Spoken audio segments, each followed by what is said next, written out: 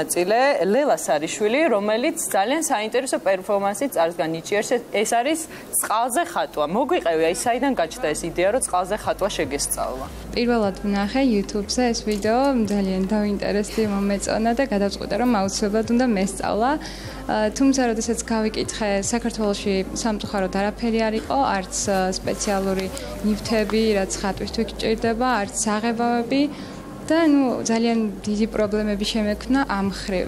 მაგრამ მე მამიდა მიშელა ასე რომ ვთქვათ, გამომიგზავნა საღებავებით ყველაფერი და დავიწყე ნიჭერამდე დაახლოებით ანუ კასტინგებამდე ორი თვე მქონდა და ნუ აი მაქსიმალურად ვცდილობდი რომ კარგად მესწავლა და იმ ხალ პასუხისმგებლობა იყო ჩემთვის თან პირველად ვიდექი ესე დიდ სცენაზე და ძალიან ნერვიულობდი ყველაფერზე იმაზე რომ ხალხს იმედები არ გაუცრულო, რა თქმა უნდა ჩემ თავსაც.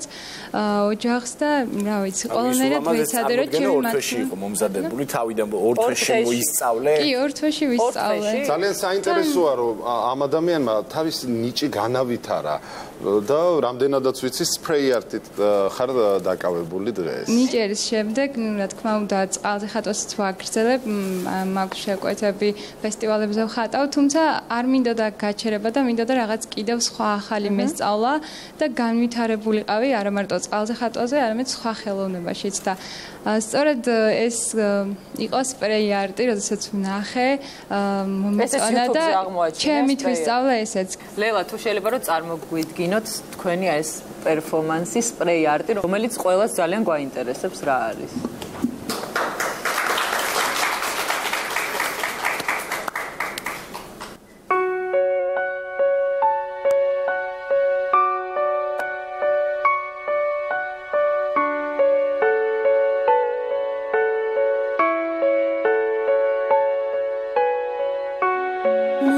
შენი ხილვა შენი გულის ცემა?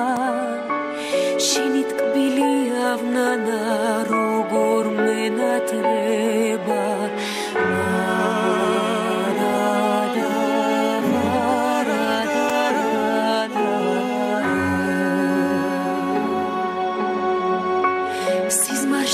შენს ქუჩებში ჩემს თავს ხედავ ნათლად შენს ლოდინში ბავშვის გული ძალზე გაითანგა